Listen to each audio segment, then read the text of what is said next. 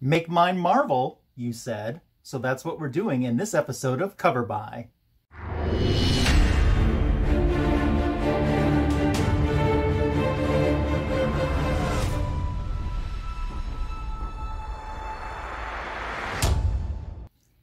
Welcome back to Cover Bye.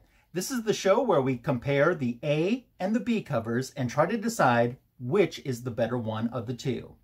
I'm Magic Lasso Ryan, and I appreciate you joining me. You may remember our last video, which was our very first in this series.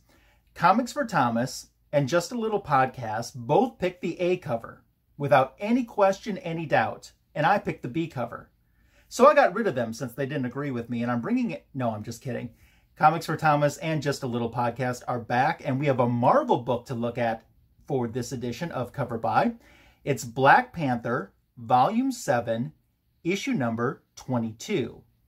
So let's see what our panel thinks of the A and the B covers to this issue, starting with Just a Little Podcast, Cookie. I love Black Panther. However, I literally own maybe two comics of Black Panther, thanks to um, a few people in the comic book community who've actually A-OK'd me it. However, I'm going to have to go with cover B. I think cover B is really, really dope. The fact that, that you have them seen on top of a hill. You have T'Challa, I'm assuming, with the gun holding up, and he's he's just looking regal as heck sitting on the top of that hill. And you can tell there's a giant battle going on. You have Wakanda in the background. I think it's really, really sick. Cover A is, don't get me wrong, is really, really great cover as well.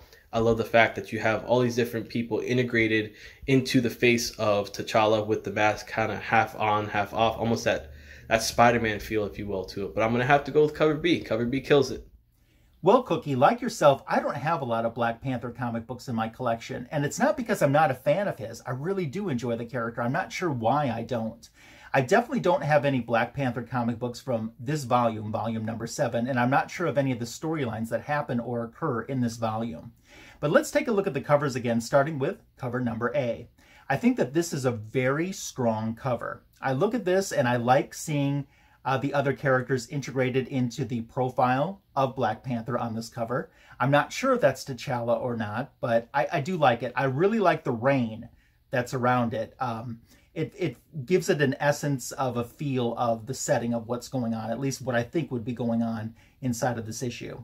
So I think that that's a good cover. But then we turn to the B cover, and I think that this is it's not equally as strong, it's stronger. This is very cinematic to me when I look at this. This looks like a movie poster to me with Black Panther perched up there, the warriors around him, definitely ready for battle, like Cookie mentioned too. I just think that this cover is awesome. I think both of them are good, and I think that this was a tough cover by. But I think that the B cover this time around is the one that really takes it. Let's turn it over to Comics for Thomas and see what he has to say, if he agrees with us or if he has a different take on it. This was a close one.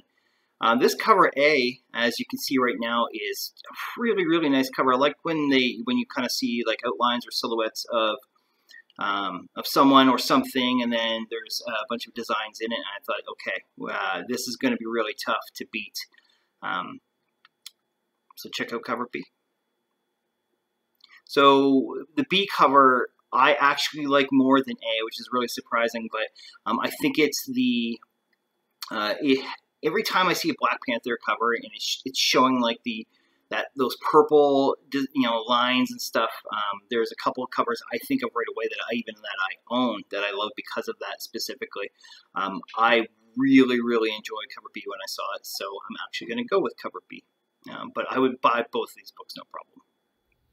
So there you have it. We're all in unison for this one. We all agree that cover B for Black Panther volume number 7, issue number 22 is the better of the two. Although I think, as I mentioned before, this was pretty tough choice to make. But do we agree with you? That's the question. Looking forward to seeing your comments below. Which one do you think is the better cover, the A or the B cover? Do you own any of these comic books? Uh, are you planning on getting any of them? Let's discuss all of this and more in the comments section below.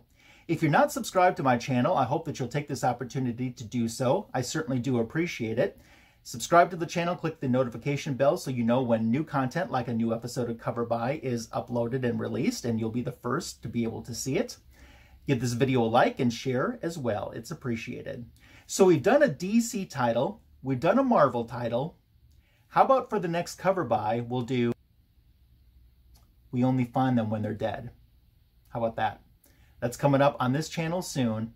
Thanks for joining us again for another cover by. Have a great rest of your day.